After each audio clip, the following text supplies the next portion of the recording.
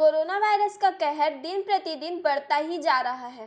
बॉलीवुड में भी इस वायरस ने दस्तक दे दी है। कनिका कपूर और करीम मोरानी के बाद अब फ़ेमस एक्टर संजय खान की बेटी फराह खान के घर भी एक कोरोना पॉजिटिव केस पाया गया है। फराह का एक स्टाफ मेंबर कोरोना संक्रमित है, जिसके बाद सभी सदस्यों का कोरोना टेस्ट करवाया गया है। इस वक्त घर के सभी सदस्य क्वारंटीन में हैं।